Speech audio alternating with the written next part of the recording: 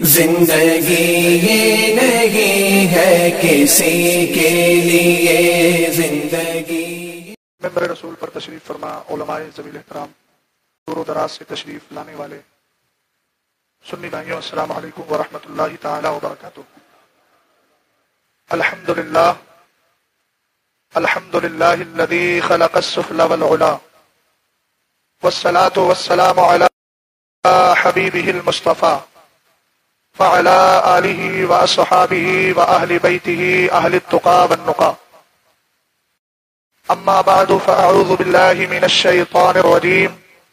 بسم الله الرحمن الرحيم. وكل وعد الله الحسنى. وفي مقام آخر، إن الذين آمنوا وعملوا الصالحات سيجعل لهم الرحمن ضدا آمنت بالله صدق الله العظيم. وصدق رسوله النبي الامين المتين المعين المغيث الكريم۔ جی لگا کر نبی، آل نبی پر محبت کے ساتھ درود و سلام کا ہدیہ پیش کریں۔ اللہ رب محمد صلی اللہ علیہ وسلم، نحن عباد محمد صلی اللہ علیہ وسلم صلاۃ والسلام علیک یا رسول اللہ۔ زہرا ہے کلی جس میں حسین اور حسن پھول۔ آپ سمجھ رہے ہیں کہ یہ محرم الحرام شریف کا مہینہ چل رہا ہے۔ میں نے قرآن کی مشہور آیت پڑھی۔ ایک آیت سے عظمت صحابہ کا ثبوت ملتا ہے۔ اور دوسری آیت سے عظمت اہل بیت کا ثبوت ملتا ہے۔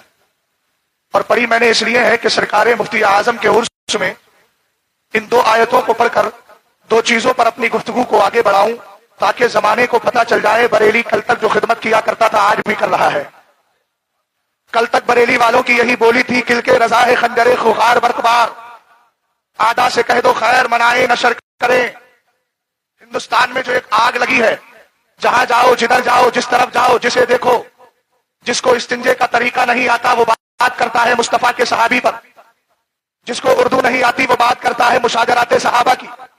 جس کو تاریخ کے بارے میں معلومات نہیں، وہ بات کرتا ہے مصطفیٰ کریم علیہ السلام کے چہیتے صحابی سیدنا امیر معاویہ کی۔ سے آپ اتفاق رکھتے ہیں تو ذرا اس کا اظہار تصویر و تحلیل کی شکل میں کریے، محبت سے بولے۔ رسول کریم علیہ السلاط وسلام کے چہیتے نواسے جس کو زمانہ حسن مشتبہ کہتا ہے۔ وہ حسن مشتبہ جس کو میرے نبی علیہ السلام نے اپنے کاندھوں پر سوار کر کے اتنا بلند کیا، اتنا بلند کیا۔ اگر بلندی کی بات سمجھنا ہے تو مطلب القمرین کو پڑھیے۔ اعلیٰ حضرت امام اہل سنت فرماتے ہیں مولا کائنات کے لیے۔ جب حضرت مولا کائنات سے میرے نبی نے فرمایا، علی، میرے کاندھوں پر سوار ہو جاؤ، خانہ کعبہ کی چھت پر جو بت رکھا ہے، اس کو توڑ دو۔ یہاں تک بڑی مشہور ہے۔ مگر آگے دیکھیے، مولا کائنات سے پوچھا گیا۔ اے مولا کائنات، یہ بتائیں، سرکار نے اپنے کاندھوں پر آپ کو سوار کیا۔ علی کا معنی بلند ہونا ہوتا ہے۔ آپ کتنے بلند ہیں؟ یہ تو خدا جانتا ہے، مصطفیٰ جانتے ہیں۔ مگر آپ علیہ السلاۃ وسلام کے شہید صحابی حضرت علی رضی اللہ تعالیٰ عنہ سے پوچھا جائے، اور اعلیٰ حضرت کی زبان میں اور اس روایت کے الفاظ میں اگر یوں کہا جائے کہ مولا کائنات سے پوچھا گیا، سرکار جب سرکار دو عالم نے آپ کو کاندھے پر سوار کیا، آپ کتنے اونچے ہو گئے؟ تو مطلب الکمرائن میں جو لی گئی، اس کی عربی الفاظ آپ تک پہنچاتا ہوں۔ مولا کائنات کہتے ہیں، انہو لیخیل الیہ، انی لو شیتو، لنلتو فق السما فرمایا، لوگو، جب مصطفیٰ نے مجھے اپنے کاندھوں پر سوار کیا تھا، تو مجھے ایسا لگتا تھا، اگر علی چاہے تو نبی کے کاندھوں پر سوار ہو کر ابھی اسی حالت میں آسمان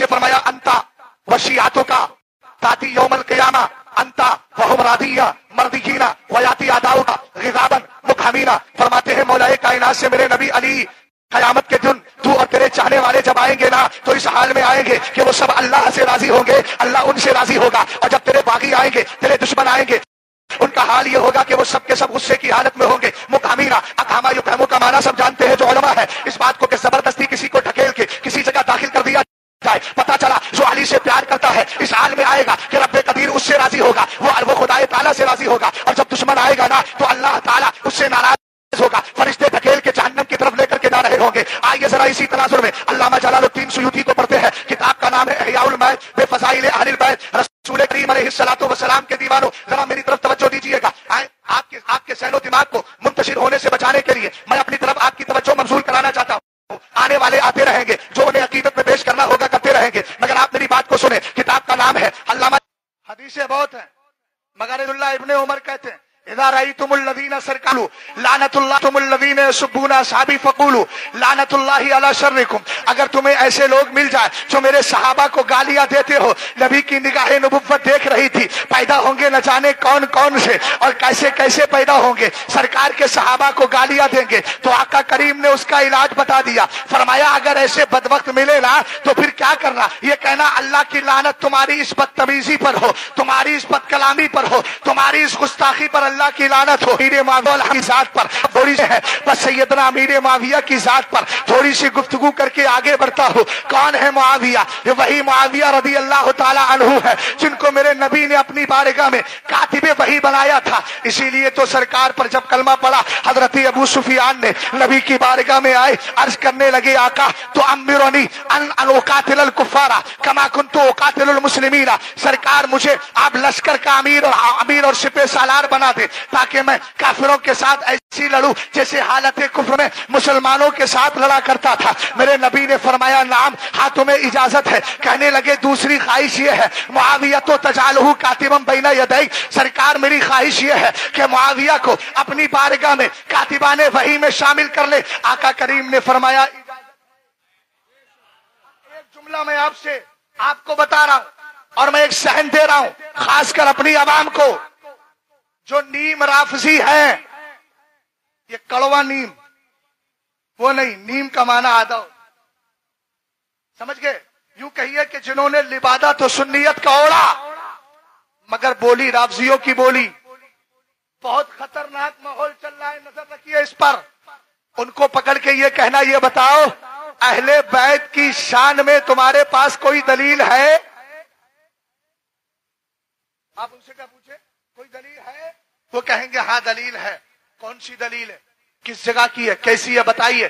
تو پڑھے گا قرآن کی آیت کلا اسلوکم علیہ اجرن الا المودۃ فی القربى پڑھے گا، ان الذین آمنوا پڑھے گا، اس کے بعد میں پڑھے گا کون سی قرآن کی آیت؟ انما یرید اللہ۔ وہی پکڑ لینا اور کہنا، یہ تو لکھنے والے امیر معاویہ کاتبان وحی میں شامل امیر معاویہ۔ اب آپ کہیں گے، آپ کے پاس تائید ہے قرآن کی آیت امیر معاویہ نے لکھی ہے تو میں نے کہا اگر میرے پاس تعین کا علم نہیں، تو آپ کے پاس عدم تعین کا علم بھی تو نہیں ہے۔ آپ تدبیر قرآن کو پڑھیے پاس پاس خال مقام پر خال خال ملتا ہے کہ فلاں نے اس کو نوٹ کیا، لکھا ہے، مگر سراحت کے ساتھ یہ نہیں ملتا کہ یہ آیت اس نے لکھی، یہ آیت اس نے لکھی۔ اور ہم نے کہا عمومیت میں فائدہ ہے تاکہ جتنے صحابہ ہیں، سب کاتبان وحی میں اور پورے قرآن پاک کی کتابت میں شامل ہو جائے یہ اللہ رب العزت کا کرم ہے۔ ہم نے کہا، دوسری بات یہ رافضی عثمان غنی کو نہیں مانتا۔ تو اس سے کہنا، ارے تو اگر سرکار تو عالم کے ان صحابہ کی مخالفت کرتا ہے اور اہل بیت سے پیار کرتا ہے اور دلیل دے رہا ہے قرآن سے، تو ہمیں ایسی دلیل اور ایسی آیت کے ذریعے شان اہل بیت دے کہ جس آیت کو جمع کرنے والا عثمان غنی نہ ہو۔ اور جب تو یہ کہہ رہا ہے کہ قرآن کی عیسائیت سے اہل بیت کا مقام ثابت ہوتا ہے، تو تدوین سالس کی کس نے تو پھر بد وقت مان کیوں نہیں لیتا؟ کہ تیسرے خلیفہ عثمان غنی ہے، خلیفہ حق ہے۔ اٹھائیے کتابوں کو۔ عبد الرحمان ابن عوف، چھ صحابہ کرام جو مجلس شورا قائم ہوئی تھی، آپ نے سب سے پہلے مولا کائنات کا ہاتھ پکڑ کے کہا تھا کم یا علی، ارید ان ابایاک علی کھڑے ہو جاؤ میں تمہارے ہاتھ پر بیعت کرنا چاہتا ہوں۔ مولا کائنات نے کہا، لا لا لا۔ لا لا، میں نہیں کروں گا بیعت۔ سرکار دو عالم صلی اللہ تعالی علیہ وسلم کے یہ چہیتے صحابی جانتے تھے، ترتیب کے اعتبار سے تیسرا مقام عثمان غنی کا آتا ہے۔ عبداللہ ابن عمر کی ایک سراحت بھی دے دوں۔ وہ کہتے کنہ نقولو۔ وفينا رسول الله صلی اللہ تعالی علیہ وسلم، افضل حاضر الامتی، ابو بکر و عمر و عثمان ثم ثم نمسکو۔ فرمایا لوگوں یاد رکھو، سرکار ہماری ساتھ، ہمارے سامنے ظاہری زندگی کے ساتھ موجود تھے۔ ظاہری زندگی کے ساتھ تب ہم سرکار کے زمانے میں کہتے تھے، اس امت میں سب سے افضل اگر کوئی ہے تو ابو بکر ہے، دوسرے نمبر پر عمر ہے، تیسرے نمبر پر عثمان ہے۔ پھر کام اپنی زبانوں کو بند کر لیتے تھے۔ ہم نے کہا جس مولا کائنات رضی اللہ تعالی عنہ کے سامنے اس طرح کی نصوص، اس طرح کی تصریحات موجود ہو، یقیناً وہ یہی کہے گا کہ خلیفہ سالس کا نام عثمان غنی ہے۔ رضی اللہ تعالی عنہ بات چل رہی تھی امیر معاویہ کی۔ آخر میں سرکار دو عالم کی بارگاہ میں ابو سفیان نے کہا، آقا، تیسری خواہش یہ ہے کہ ام حبیبہ میری بیٹی ہے، اس کو آپ اپنے نکاح میں لے لے اب میں بدبختوں سے پوچھنا چاہتا ہوں، تو کوئی کہتا امیر معاویہ الحیاس باللہ کافر ہے، کوئی کہتا ہے، منافق ہے. میں کہتا ہوں اندھے ذرا اپنی آنکھوں سے تعصب کا اور دشمنی کا دشمن دشمنی کا اینک ہٹا اور اس کے بعد انصاف کا اینک لگا اور مجھے یہ بتا، تیری نگاہ زیادہ منفر ہے یا مدینے والی کی نگاہ زیادہ منفر ہے؟ ارے یقینا میرے مصطفیٰ کی نگاہ زیادہ منفر ہے۔ نبی کریم کے لیے تو اللہ نے قرآن میں آیتیں نازل فرمائی اور بتا دیا کہ چھپی ہوئی چیزوں پر نبی کو مطلع کر دیا گیا ہے۔ ہم نے کہا وہ نبی جانتا تھا کہ جس سے میں کتابت وہی کروا رہا ہوں۔ وہ معاویہ وہ معاویہ منافق نہیں، سچا مسلمان ہے۔ سچا میرا ہے۔ وفاداری کی مثال دیکھو، جب امیر معاویہ کا انتقال ہوتا ہے، کہتے لوگوں، میرے پاس نبی کا قمیض شریف ہے، نبی کی اظہار شریف ہے، نبی کی چادر ہے، نبی کے ناخون کے تراشیدے ہے آقا کریم علیہ السلام کے مبارک موئے شریف، پال شریف ہے۔ کہا، جب انتقال ہو جائے نا، تو مجھے ان میں کفن دے دینا، آزائے سجدہ پر، ان ساری چیزوں کو رکھ دینا، تاکہ قبر میں پہنچوں تو فرشتے دیکھ کر کہے نبی کا غلام مصطفیٰ کی محبت کی نشانی لے کر کے آ رہا ہے۔ توجہ ہے؟ بات سمجھ نہیں آپ؟ حضرت امیر معاویہ رضی اللہ تعالیٰ عنہ کے والد کی اس خواہش کو میرے نبی نے پورا کر بس ایک صنعت پیش کر رہا ہوں، اس کے بعد گفتگو ختم کرتا ہوں۔ وقت چونکہ زیادہ ہو رہا ہے۔ ذرا ایک بار درود پاک پڑھ لیجیے اللہ رب محمد صلی اللہ علیہ وسلم، نحن عباد محمد صلی اللہ علیہ وسلم صلاۃ و سلام علیک یا رسول اللہ۔ صلی اللہ تعالی علیہ وسلم۔ حضرت مولا کائنات اور حضرت امیر معاویہ رضی اللہ تعالی عنہما کے درمیان جب اختلاف چل رہا تھا، خاص طور سے اس پر توجہ چاہتا ہوں، تھوڑی دیر کے لیے موبائل جیب میں رکھ لیجیے جو بھی حضرات، اور جن کی توجہ دائیں بائیں وہ بھی اس طرف۔ میں سب کی توجہ چاہتا ہوں۔ حضرت امیر معاویہ، حضرت مولا کائنات دونوں کا اختلاف چل رہا تھا، دونوں صحابی مستحد ہیں۔ یہی وجہ ہے کہ عبداللہ ابن عباس کی بارگاہ میں ابن ابی ملیکہ کہتے ہیں، میں آیا، یا کوئی دوسرے کے شخص سے تعلق، آپ نے دوسرے کے متعلق بیان کیا کہ وہ آئے اور آ کر انہوں نے کہا، میں نے آج امیر معاویہ کو وطر کی ایک رکت پڑھتے ہوئے دیکھا۔ حالانکہ وطر میں کتنی رکت ہیں حدیث میں دونوں طرح کا جواب، دونوں طرح کی سراہت ملتی ہے۔ اس لیے غلط مت کہیے گا۔ حضرت عبداللہ ابن عباس نے فرمایا، خاموش ہو جا۔ ان قد صحیبہ رسول اللہ۔ امیر معاویہ جو کر رہے ہیں، صحیح کر رہے ہیں۔ اس لیے کہ وہ نبی کے صحابی ہیں۔ اور صحابی جو کرتا ہے، اصول محدثین آپ پڑھیں۔ صحابی جو کرتا ہے، وہاں یہی کہا جاتا ہے، اس کی نظر میں نبی کی کوئی حدیث قولی، حدیث فیلی حدیث تقریری نہیں ہوگی۔ اس کے بعد اس نے ایسا کیا ہوگا۔ اور ایک حدیث کی الفاظ ہے فرمایا تھا قد اصاب، فإنه مستحد وہ صحیح کر رہے ہیں۔ اس لیے کہ معاویہ مستحد ہے مستحد فقی ہے فقی اشتہاد کرنے والے ہیں۔ میں نے کہا، یہ بات سمجھ میں آ گئی۔ حضرت امیر معاویہ اور مولا کائنات کا اختلاف چل رہا ہے۔ اسی اختلاف کے درمیان میں رومی بادشاہ نے دیکھا موقع بڑا اچھا ہے۔ لاؤ ایسا کرتا ہوں۔ قریب جاؤں اور جانے کے بعد معاویہ کا جہاں تک دبدبا ہے اور جہاں تک ان کی حکومت و سلطنت ہے، وہاں جا کر کے قبضہ کر لوں۔ ایک شہر کے قریب ہوتا ہے۔ اب حضرت امیر معاویہ کا جملہ سنیے گا۔ آپ جملہ لکھ رہے ہیں۔ آپ خط لکھتے ہیں۔ خط لکھنے کے بعد کہتے ہیں، واللہ لئن تنتہ و تنتہی و ترجی الى بلادی کا لا استلیحن انا و ابن عمی علیکا ولا اخرجنکا